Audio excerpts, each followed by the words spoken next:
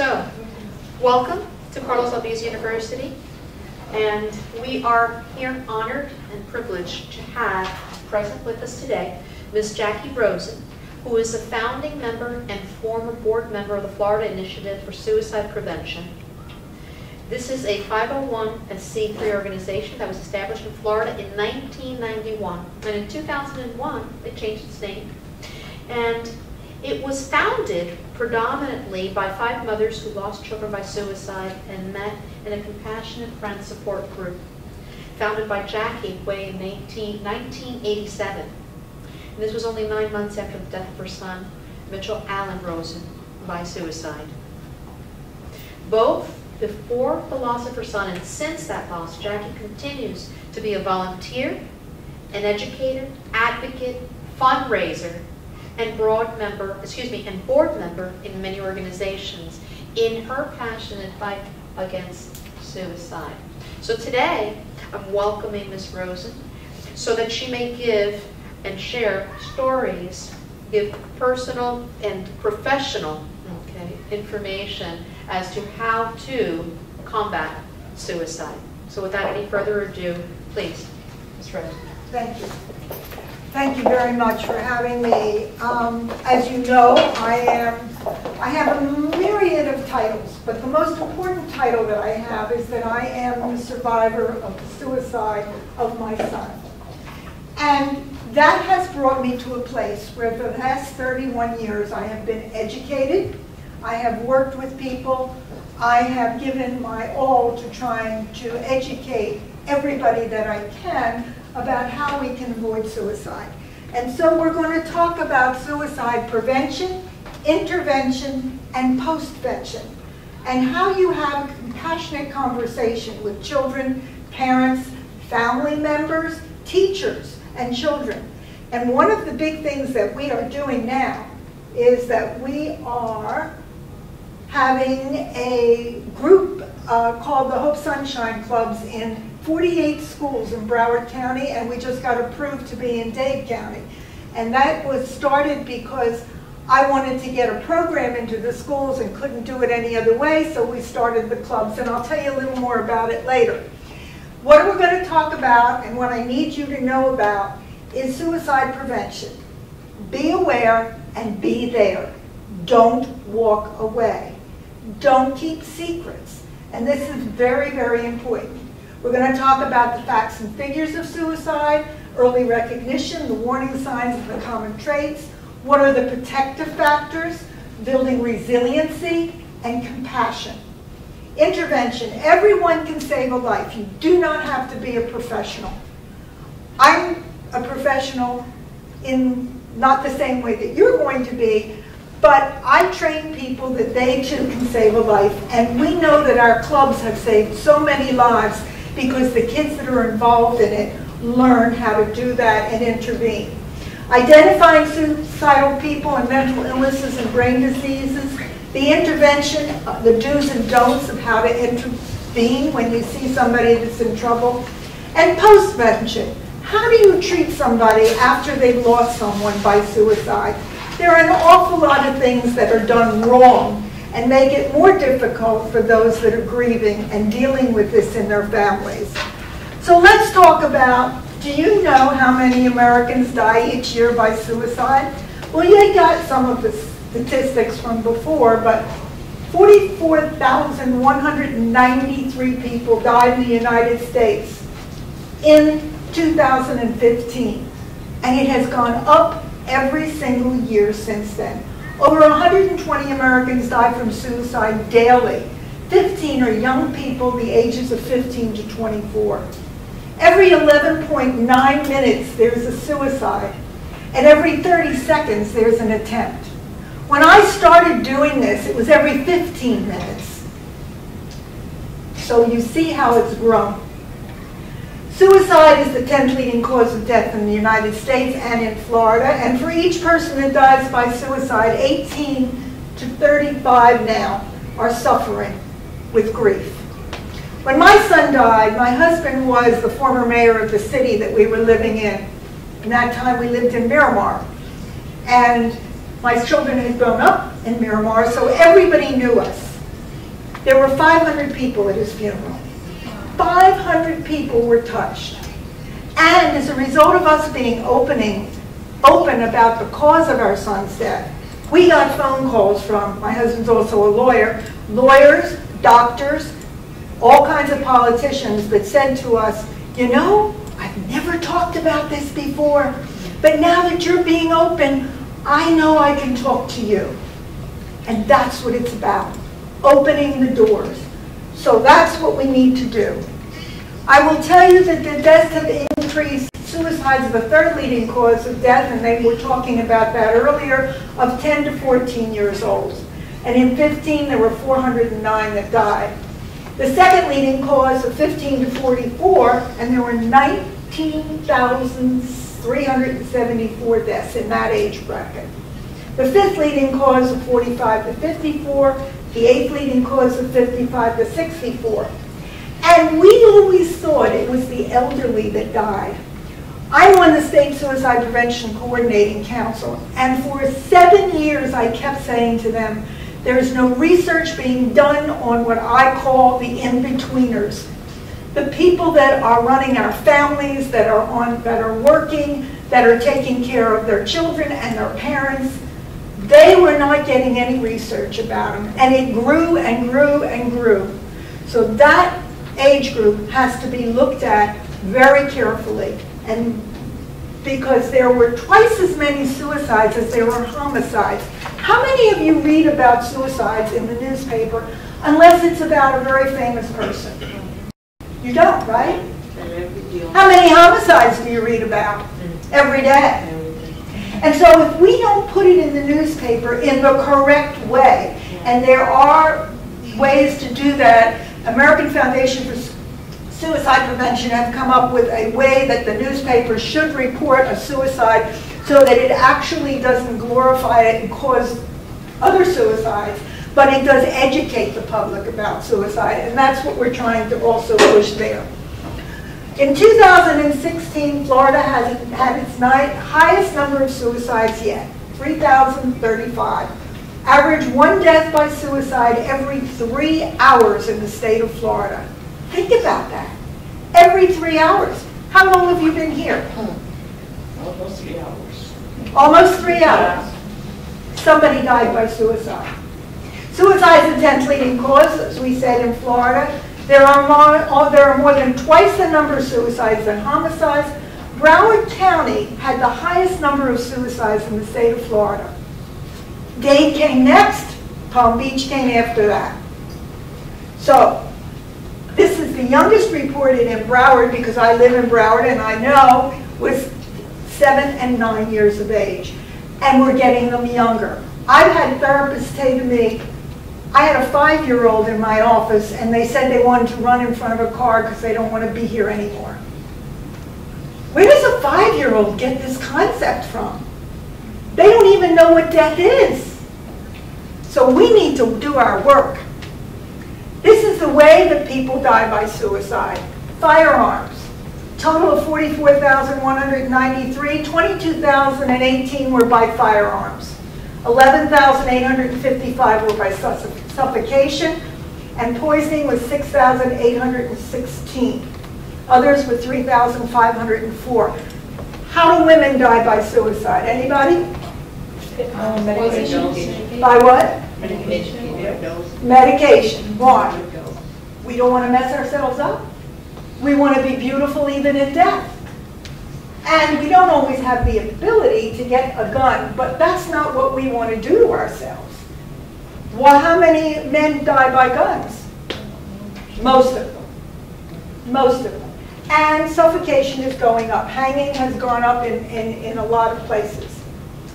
So let's go to what are coexisting disorders. We talked a little bit about, is treatment equal today for substance abuse and I don't call it mental health, by the way. I call it brain disorders and diseases. That's what it is. If you call it mental health or behavioral health, behavioral health, well, you can control your behavior. You can't control mental illnesses or brain disorders. Mental illness puts it over here and physical illness over here. If we look at it as a brain disorder or disease, which it is, what's the most important organ in your body? What controls everything? So we need to change the thinking of the public that this is a disease of an organ in our body and we have to be able to go to the doctor just like for any other disease. And while I'm saying that, how many of you still say how they died by suicide? How would you say it if I asked you, somebody died by suicide, how would you say it? Somebody? Committed suicide. committed suicide. Uh-uh-uh-uh-uh. That is what keeps the stigma going. There is no reason to say to die, uh, committed suicide. It's not against the law. If it was, how do you prosecute somebody after they die by suicide? Okay? What do you say? Do you say somebody's committed cancer? This is the result of a disease. They died by or they died of. And I ask everyone in this room in my son Mitchell's name, when you walk out of this room, think about it twice before you say committed and say died by or died of. You will change the stigma. You will change the way people think about brain disorders and diseases. And that is how we get from one place to another in this terrible fight. So when somebody has a brain disorder, I got off track, as I usually do, or they have a substance abuse disorder, which are both diseases, for years, just like mental and physical health, they treated one over here and one over here. We now know that coexisting disorders are more common than ever before, that we think about it the right way, one causes the other, and we don't know which one comes first. Is the person who has a brain disorder or disease called mental health, are they simply self-medicating with drugs and with, with alcohol? Or because they were using the drugs and alcohol, have they become brain disordered and have a disease? So now we know that these two things have to be treated together. How many people have gone in for treatment for substance abuse, gotten out, got through it, and then go right back to it? Because the pers- the real problem that they're dealing with wasn't dealt with. Because the brain disorder or disease wasn't dealt with. So we need to treat them together as one illness. Okay? So is treatment equally supplied? That's number one. Substance abuse and mental health, 90% of the people who die by suicide have a diagnosable brain disorder or disease, which includes substance abuse. Okay? Substance abuse in itself is a brain illness and a risk factor for suicide. So that's what we've got to be aware of. Gender disparities. Males take their own lives at nearly four times the rate of females, or 77.9% of all suicides. Females are more likely than males to think about suicide, to talk about suicide, and get help because they open up. Your professor was telling you that males don't talk about it, and that's the truth. They hide it. And that's one of the big reasons for the gender change in the two about it. Uh, suicide is the seventh leading cause of death for males and the 14th leading cause of death for females. So it's about twice as much. Firearms are the most commonly used for males, as we said, and poisoning for females. In the 2016-17 school year, there were 14 Broward County students that died by suicide. That we know about. Why don't we know the real numbers? Because the medical examiner doesn't put it all the way down, all the time on the, um, on the report. Parents want, don't want it reported as a suicide. Oh, it was an accidental overdose. Oh, it was just an accident. They didn't mean to shoot themselves. Okay? They didn't mean to hang. They were doing that thing to, uh, what do you call it? Asphyxiation. asphyxiation things. They didn't really mean to hang themselves. So that's what we know, that more teenagers and young adults die from suicide than from cancer, heart disease, AIDS, birth defects, stroke, pneumonia, influenza, and chronic lung disease all combined. Scary, isn't it? Really, really scary. So these are, what does social media have to do with it? And this is a research that was just done recently. I don't know if that's what you were uh, talking about when you did that report, but in 2007, when social media became available to teens, the suicide rate doubled.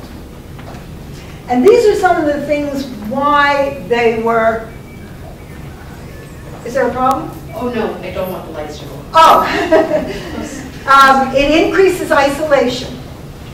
We know that the kids now are sitting in their room or wherever going like this or on the video or on the um, on their computer and they aren't communicating or having face-to-face -face communication. We as human beings need to communicate live. We are social animals. That's what keeps us going, our social interactions. And if we don't have them and we're isolated, we become depressed. And so the need to keep up with others is another problem. The need to show only having successes never doing anything that's not a success. These aren't realistic. The constant comparisons and bullying that happens and the anonymity that they have on the social media, they can say anything or do anything they want. The immediacy of everything. They can't wait to do it. The average teen spends five hours a day on social media. Five hours? That's unbelievable. It causes real harm by decreasing self-worth, bullying. They, it becomes an addiction because it's their primary way of communicating. And I will absolutely confess that my phone sits on my night table so first thing I do in the morning is pick up my phone and look at my emails to see what I'm doing and look at my schedule for the day. The last thing I do at night is put down my phone on the night table. Well, if you're not an adult and you're depending on that for your whole self-worth, what do you think it does to a teenager? So what we need to do, it causes real harm because of the self-worth it can become an addiction. And the open communication between teens and their parents is lost. How many of you walked into a, a restaurant and seen the family sitting at the yeah. table, all on their own phones? Yeah. It makes me want to scream. Yeah. It really does. The family meal where you sit and talk. The isolation produces feelings of helplessness and hopelessness suicidal thoughts and actions. It also decreases the development of interpersonal skills and relationships, successful person-to-person -person communication, the ability to be empathetic. What is important about empathy as a human being? Everything. If we don't know how other people feel and be able to understand their emotions, we've lost part of our humanity. It's very important and the ability to caringly use social media, media. Carefully think about what you're saying and what you're doing. It also increases the rate of stress, depression, anxiety, and suicide. And depression is the number one cause of suicide. So these are what social media is doing. What is prevention? Prevention is being proactive and enabling individuals and systems to meet the challenges of life events and create and reinforce conditions that promote healthy behaviors and lifestyles. Healthy behaviors and lifestyles. In other words, everyone in this room and everyone in your family and everyone that you have relationships with can help save a life by learning about the signs, by caring enough to intervene, and by sharing compassionate conversations. It's a simple thing. It's just being human. empathy, and caring. So which of these statements is true? And I think they answered these when they did their presentation. Suicidal people want to die. Do they? What do they want? They want relief. They want relief, and we're going to, I'm going to show you uh, something that talks about how a suicidal person feels. And I tried to get there after my son died. I wanted to understand how he felt, and I actually tried to get there. People talk about suicide won't do it, true or false? False, False. absolutely. Suicide is an impulsive act. False. False. False. They need time to plan it. They need the things to do what they need to do it. So it, it gives us time, if we can find out, to intervene and help. Suicide, a person that attempts suicide won't do it again. I know a young lady who attempted 14 times before she died. 14 times. We kept trying to stop her, their family tried trying to stop her. We couldn't. And a person can control the feelings that lead to suicide. And we're going to talk a little bit about the chemical and the emotional part of that. So, brain deme- these are the three things that are very important to remember that cause brain disorders or diseases. Number one is biological. It does run in families. And it runs in families because they're talking about now a gene that makes you susceptible to suicide. It also runs in families because it becomes an acceptable way to deal with things. And if it's, it's an acceptable way for a family member to do it, then it becomes acceptable for other families to do it. But basically, there is a physical component to the DNA, and we know that now. We also know that it's neurological. It's the chemicals in the brain that change. The hippocampus, we can now see actually in long-term depression shrinks, and they can't get it back. The amygdala sometimes swells and presses on the hippocampus and causes reactions that we don't understand why they're happening except that that's physically the changes in the brain. So the more that we can see about the brain, the more we are learning what's happening when somebody gets to the point where they can't stand the pain anymore. Okay? Environmental factors, trauma. Trauma is one of the biggest factors in suicide. And the earlier that the trauma occurs, the harder it is for the person to change the reaction to that trauma. And the more likely they are to have brain disorders, diseases, and die by suicide. And we know that the earlier. There are no boundaries set for those affected by brain illnesses because they cross all ages, genders, racial, cultural, socioeconomic, doesn't matter. Okay. The number one cause is depression, which we've already talked about. Um, just like any other disease, it's, it's part of the body's changes. These are the 20 general, pop, uh, general population signs of suicide. Isolation, withdrawal from family and friends and activities, sleep disturbances, too little or too much, changes in eating behavior. By the way, that's up here on the, on the, all these, a lot of these things are up here. Uh, eating behaviors, eating too much or not enough, inability to concentrate or make decisions, unexplained fatigue, constantly having no energy, depression, sadness, crying, loss of ability to know joy, risky behaviors promoted by aggression, hostil- hostility, not taking medications. Some people who just stop taking their medications. Now, I don't mean just therapeutic medications for brain disorders. I'm talking about people who are diabetic and stop taking their medications, who have other illnesses and stop taking their medications. Um, let's see. Take, talking about or preoccupation with uh, death, low self-esteem, helplessness, hopelessness, oversensitivity to criticism, loss of interest in personal appearance, hobbies, school, social uh, work, somatic symptoms and complaints. There, uh, the elderly often visit their family doctor within a month, complaining of physical problems, physical pains. They don't associate it with the brain disorder. And then they'll die within a month. And how many, how many family doctors are really asking the right questions? I've been asking that for years. How do we get our family doctors really educated about asking the right questions?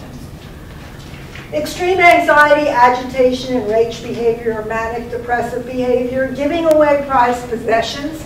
There was a teacher who, when I was teaching in the school, said to me, two years ago, I had a student come to me and bring me his favorite poster from his bedroom and asked me to hang it in the classroom and never take it down. What happened? Two weeks later, he died by suicide. And he said to him, why did he say to him, never take it down? He wanted to be remembered. He didn't want to be forgotten. Um, where am I? Mental illnesses or previous suicide attempts, suicide of a friend or a family history, personal contacts with media or significant people, recent loss of a family member, making a suicide plan, access to guns, pills, and means, saying goodbye. My son visited five friends the night before he died. Not one of them picked up the phone and said to us, and we had been watching him 24-7. We knew he was in trouble. We had him at a psychiatrist. He was on medication. And we went to sleep, and when we got up in the morning, he wasn't there. He, was, he had gone and done it. So, um, a recent loss, making, saying goodbye, feeling helpless, helpless, desperation, guilt, and no self-worth, sudden change in behavior, use of alcohol or drugs, are very often something that you have to look at. Um, cultural and religious beliefs sometimes do have a reason involved in that. Um, the first time years ago I went to a Catholic church because they had said for so many years it was a sin. I don't know what your religion is, but it's changing. We realize now, and that's why it's so important to let people know this is the result of a disease. This is not a sin. So they brought me in because one of the students in their teen group had attempted. Okay? This is the warning signs for children. Unexplained fears, being very angry and irritable most of the time, or having temper tantrums, doing the same thing over and over, OCD, we were talking about that earlier. Attacking people, themselves, or animals, which again is no empathy. That's a big sign with children when they start setting fires or hurting animals. You have to, there's something definitely wrong. Frequent nightmares, setting fires, unable to sit or concentrate, changing schoolwork, hearing voices. Schizophrenia is rare in young children, but it does happen. Lack of empathy or caring about others. I was going to show a film, but it's 10 minutes, and it's about a college student who, in a two-week period, because he got caught making drugs for himself, mushrooms, um, he got caught, and he was top student, had all kinds of uh, excellent background and everything you can imagine, perfect. Well, now he wasn't perfect anymore. So when we showed this film, we asked, what are the signs that you saw in this film? It's on our website, so if you want to see it, it's the Cody Zakari story. And as you'll see this, this was in 2011 when he died. I, at the end, I say there's a suicide every 15 minutes. So, what are the experiences that contribute to depression? Family problems, divorce, abuse, financial problems, legal problems, health problems, bullying in all ages. Adults get bullied as much as kids do uh, in a different way, very often at work with bosses and, and other people that they work with. It's just as bad for adults as it is for children. Health problems, legal problems, uh, trauma, and barriers to receiving mental health care. Okay? Three common traits, and this is very important. This was Dr. Thomas Joiner um, did this research. He lost his father to suicide. He's up at Florida State, I believe. And he found out through this research that these three things are true of everybody that dies by suicide. Now, how many of you ever heard somebody say, oh, they took their life, that's so selfish? Have you ever heard that? Yeah. Well, the reason that they take their life, not only to stop the pain, but because they are guilt about their existence. And they feel they are a burden to themselves, to their families, to their friends, to the world. That the world would be better off without them. Does that sound selfish? No. That's not selfish. And that just makes my hair stand up when I hear that. The other thing is that not belonging or feeling alienated. They don't feel they're a part of the things that are important in their life. So they feel alienated. And a low sense of belongingness is the experience one alienates families, circles of friends, whatever they're involved in. And then there's the acquired ability to self-harm or lethal injury. How important is our preservation, our self-preservation in our human makeup? It's probably the most important thing that we have. That's what fight or flight is about. That's what we do, all kinds of things to survive. Can you imagine giving that up? I tried. I called my doctor and I said to him, I need my prescription refilled for three months. So he gave me a prescription for 100 pills. I went to the, which was stupid. I went to the pharmacy. I said to my, my family, i will be back later. Went to the pharmacy, picked up the pills, went to the place where my son died. Parked my car where he parked his car. Sat in my car with the pills, trying to feel what he felt. Now, as depressed as I was, and believe me, I was depressed, I couldn't get to where he was. Because I was an adult, I had been through things, I knew how to look at things with a clear perspective. I had a husband and a daughter and parents that I couldn't do this to.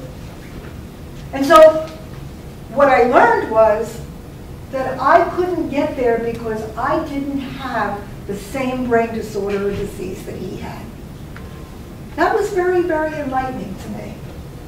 So I went home and I took my pills, opened up the cabinet, put them in the cabinet, looked in the mirror and said to myself, my goodness, I started to laugh. You idiot! You didn't really expect to die by suicide. You weren't really going to take the pills. You didn't take any water with you. That's where it was all about. Understanding. And that's what every survivor does. Why, why, why, why? How, how, how, how? How can I understand this? And so that was my way of testing that self-preservation. How do you describe how a suicidal person thinks? Cognitive constriction, tunnel vision, not able to see the light at the end of the tunnel. There's no way out. Dichotomous thinking, everything is black and white. I stop the pain or I can't stand the pain. Now I love this word, this word, psychache. I was so excited when I found it in the dictionary. What does it mean to you? We all talk about physical ache. Psych ache is just as bad, if not worse. And it comes with physical pain ache. So, think about that profound emotional pain that they have. Perturbation, the need to take action. When you have a problem, what do you do? You look at the problem, you look at all the possible solutions. When you find the solution that you think will work, you take action. That's what they're doing. Exactly that, solving the problem. And so if we think of it that way, we think of it differently. The hopelessness and the need to take action. I used to say that the best way to describe the way a person feels was that they were in a, in a um, a mind and they couldn't get out of the darkness. Now they get them out of the mind. I found out a lot of people are getting out of minds.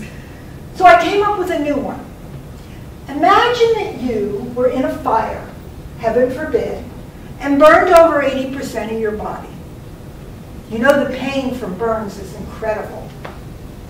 And you go to the hospital and you're all cleaned up and you're wrapped up and the doctor comes in and he says, uh, well, I'm just not sure how I'm going to tell you this. But every pain medication in the world has been compromised. And because of that, we don't know if or when we'll ever have any pain medications. So I can't tell you how long you're going to be in pain, or if it'll ever stop, or if I'll ever be able to help you stop it. What would you do to stop the pain? That's where they're at. And that's hard to understand for us. But it is true. That's the way they feel. So what are our protective factors?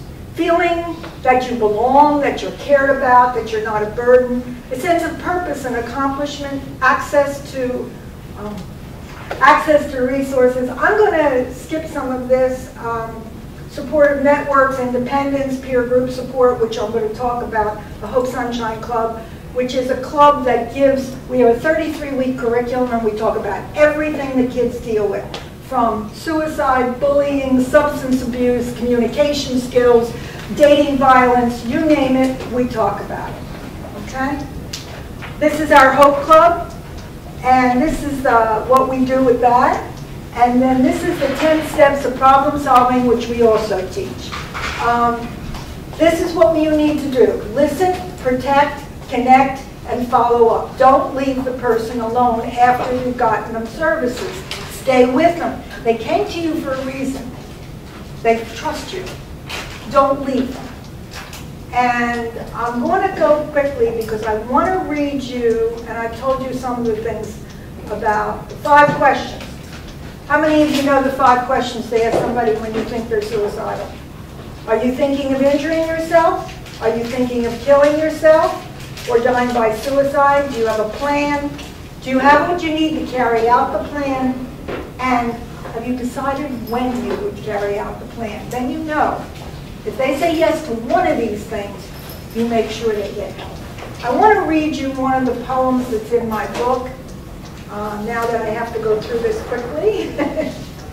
I will tell you that grieving, the grieving process we say is like friendly prints. No two people do it the same. You have to let them do it the way, but be there. This is the uh, poem. My book is how I got through it and how other people that I dealt with. It's called The Butterfly on My Shoulder because my son used to come home and rub my shoulders at the end of the day. How was your day, Mom? And I've always loved butterflies since I was a kid, and they signify the change from one form to another. And we know by physics, energy, or never dies, it just changes from one form to another. So the name of my book, and it's written with my pen name, uh, is The Butterfly on My Shoulder. And here's one of the poems. What's the difference between physical illness and that of the mind? I've searched and searched, and the difference between them, I cannot find. It really bothers me when someone says that it's all in his head. Because the brain is an organ whose health by an MRI I can be read. Our body is one entity that we hope works in perfect harmony. When we get sick, which is part that is broken, is not different. Don't you see? My child died of an illness, a part of his body, not separate from the other. Why do people differentiate and say they are different from one another? The word disease means that there is dis-ease in the body as a whole. Changing how people treat mental illness is now my ultimate goal. I want to make them understand that my child suffered from an illness like any other. I want them to treat my family like anyone who's lost a child, a sister, or a brother. Not stigmatize my child's death like everyone used to do with cancer. We know that research and openness promoting prevention is really the answer. Mental illness can be successfully treated when help is sought Stopping the stigma will make the seeking of treatment more easily bought. I want to separate the word to all that the need is so great. Spread the word to all that the need is so great. And let everyone know what a difference they can each make. Thank you very much. It's a few minutes after six, but if you have any questions, I'm here.